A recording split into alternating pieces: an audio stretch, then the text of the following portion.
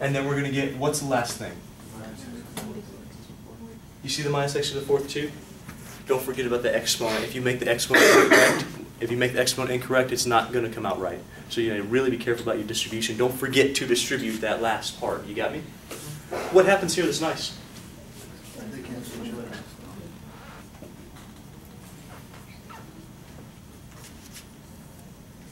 Yeah, oh, that's great. I love that. Two, square root of x to the fourth plus 2 plus x squared. So far, so good? Okay. all right. Hmm. Can we do that legally? Can we just say 2 over infinity? Well, I don't know. Especially if this is a, especially if you did this. Especially if you did that, that would be a big problem. Do you see that? That would be an issue. So what we're going to do is make sure about it. You're going to start dividing by the largest power in the denominator.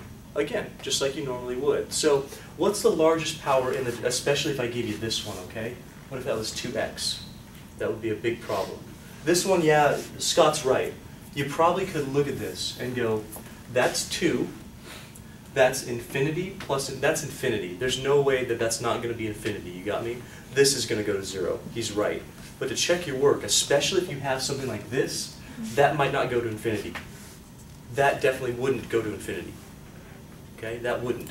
So to check your work, to show that, what you're going to do is go, all right, well, let's divide everything by the largest power in the denominator. Now don't trick yourself here. The largest power in the denominator is not x to the fourth. It's not x to the fourth. What is it?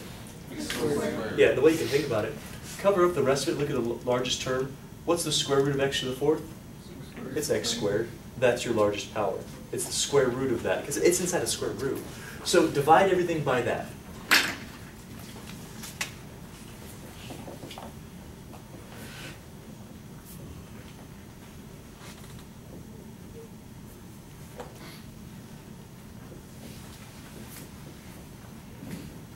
I'm making you do this because I want you to see one more time this, this setup.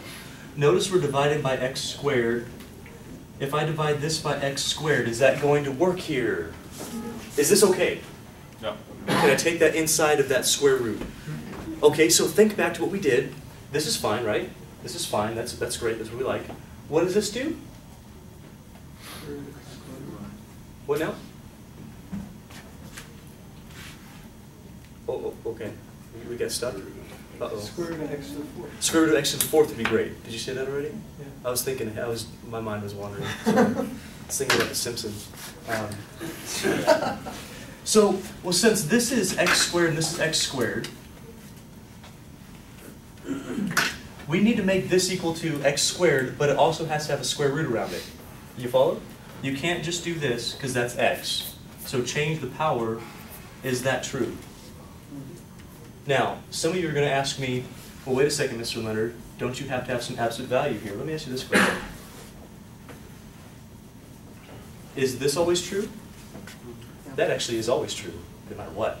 No absolute value needed because you have all positive, all positive. It's always going to be the same. Does that make sense? So we don't even need that for this case. So here we're going to have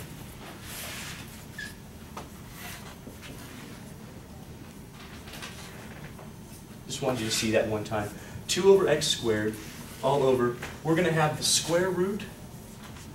If you think about it, this is going to be 1 plus 2 over x to the fourth. Do you see the 1 plus 2 over x to the fourth? Yes, no? Yeah. We get the 1 x to the fourth over x to the fourth plus the 2 over x to the fourth plus 1. Show of hands, how many people feel okay getting down to that far? Oh, that's not many. Let's have some questions if you guys are, are not so, so okay on this. Are you okay on rationalizing? yeah? Are you okay on crossing those things out? Well, that should be easy. That's the fun part. Are you okay on dividing by x squared because that is the largest power in your denominator? You okay on doing the square root of x to the fourth? Because that's still x squared.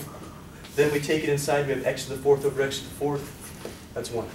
2 over x to the fourth, 2 over x to the fourth. x squared over x squared, that's 1.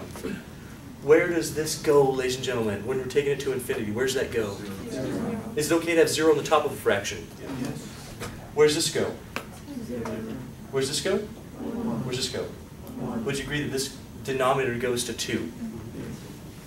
So this equals 0 over 2 or 0. You're going to notice in this case, if I change that to a negative, nothing about this changes. I don't have any absolute value, nothing changes.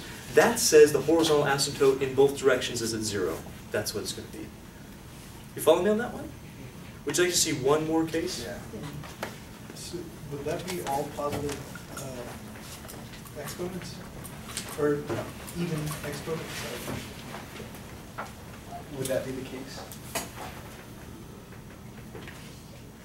We just start with the even one there. That was, I'm sorry, odd one, that was even. Divided by. Oh, I don't know. It really depends on what you have. I can't say a cover-all situation for every time, I don't know. Shall we change the problem just a little bit? Let's change the problem just a little bit, all right? So what I'm gonna do, instead of doing a whole completely new one, do you have any questions on this? We're gonna see how it changes if I do this little bit to it. That. Okay, if that changes our problem at all. Let's see the things that change. Let's go through our problem. I'll try to use a different color pen so you see the differences. Can you still rationalize? What's the only thing that changes about our rationalization? That's going to be uh, squared and x squared. Are you all right with that so far? Okay. What changes here, ladies and gentlemen, when I distribute? What changes? Just an x squared. Just an x squared. You see it? It'd be kind of silly to do the whole example again, right? It's pretty much the same thing. That would be an x squared, and this would be an x squared. You still okay? Well, what happens here then is this is an x squared, and that's an x squared. True? Mm-hmm. Okay. So, okay, well, well, hang on a second then. Well, if that's the case,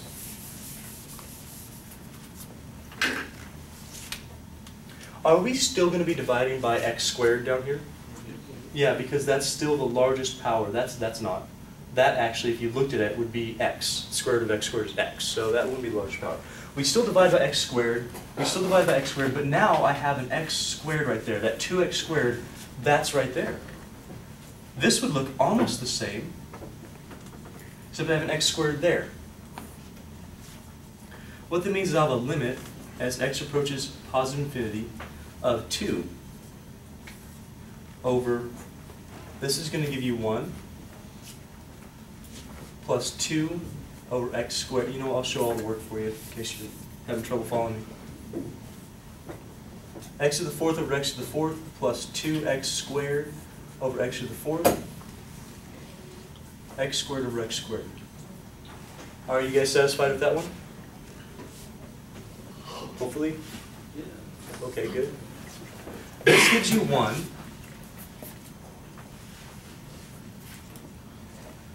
So we're still at two. That gives you one. This gives you two over x squared. And that gives you one. We're now ready to take the limit. Ready to let the x go to infinity. What happens to our two? Does it go to zero? It didn't last time because we had it over x. Where's that go? Where's that go? Where's that go? What is it? We've got a 2 over the square root of 1 plus 0 plus 1. 1 plus 0 plus 1. That's the square root of 1, that's 1. 1 plus 1 is 2. We get 2 over 2? Or 1. Did it change? Yeah. So, a little bit, yeah, a little bit. So that, that little change there said, we're not at zero anymore, we have a horizontal asymptote at now one. So we're going at one for, at, when we get to infinity how do you feel okay with what we've talked about so far?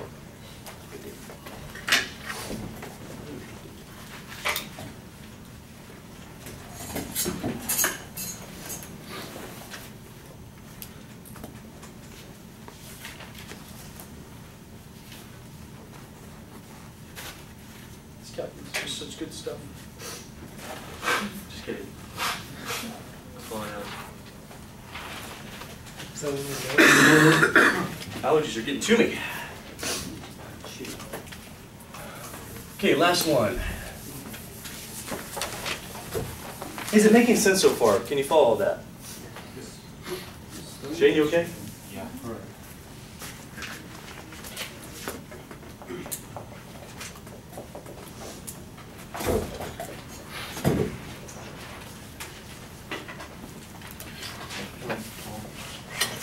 Ooh, that's nasty.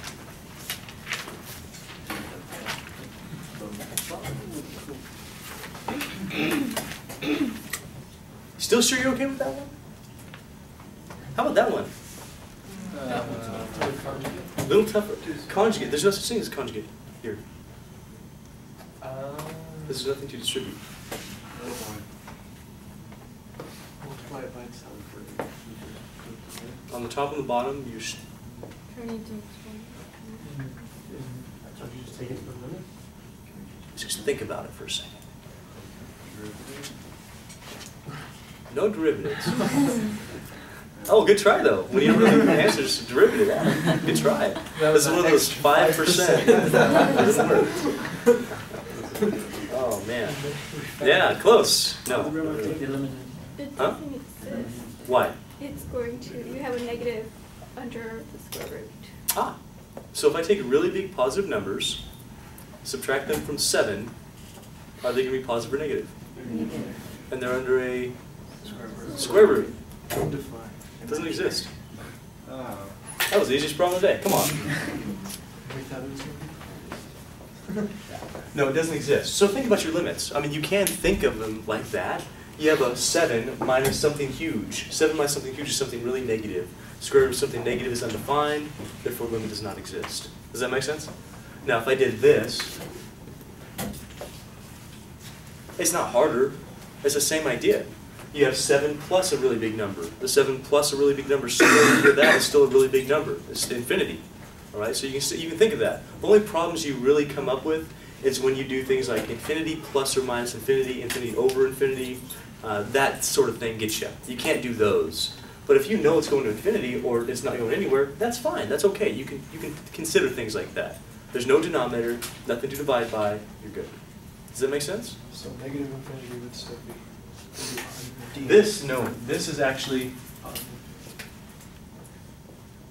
Oh, it's positive. Yes. Do you feel okay with our limits? Have I blown your minds yet today? So when you have issues where you're subtracting infinities, rationalize them. If you have a square root, rationalize them. If you don't, think through the limit, what it means to go to infinity, consider the type of problems you have. You already know polynomials, any polynomial is going to go to positive or negative infinity, right? We talked about that last time. We said, well, it follows really the leading coefficient, or leading term, sorry, the power of leading term. So uh, x cubed, if it's, it's going to go up, or if it's negative x cubed, it's going to go down. And things like that happen. So be prepared for those limits. Are there any questions before we continue?